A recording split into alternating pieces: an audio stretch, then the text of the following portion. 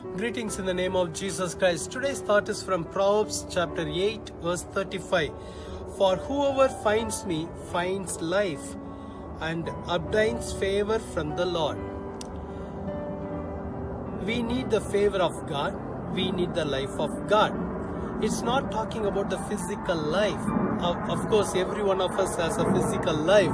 But the important thing is whether we have a life in our spiritual life. We need to have a life in our spirit. When can we find the life? When we found God. How can we find God? When we seek God, then we can find God. When you find God, then you will find life and also this verse says you will find the favor of God. We need the life of God and favor of God. What is the favor of God?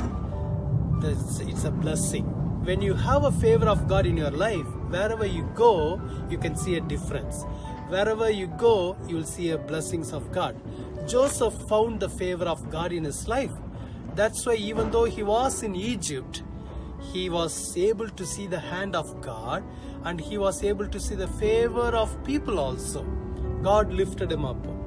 So today we need the favor of God and life of God. Today the Lord wants to give you his favor and his life. Just seek him, then you will find him. When you find him, these two things will happen in your life. Shall we do a word of prayer? Lord, thank you for this word. Help us to find you. Help us to see your life in our life. Help us to see the favor of God in our life. We need your favor, we need your life. Lord, I pray for your children. If they are going for any important meetings today, let them see the favor of God. If they going if they are going for any interview today, let them see the favor of God.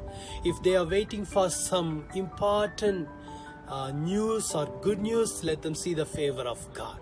Lord, lift your people, O God. Remove every doubts and fear from their heart.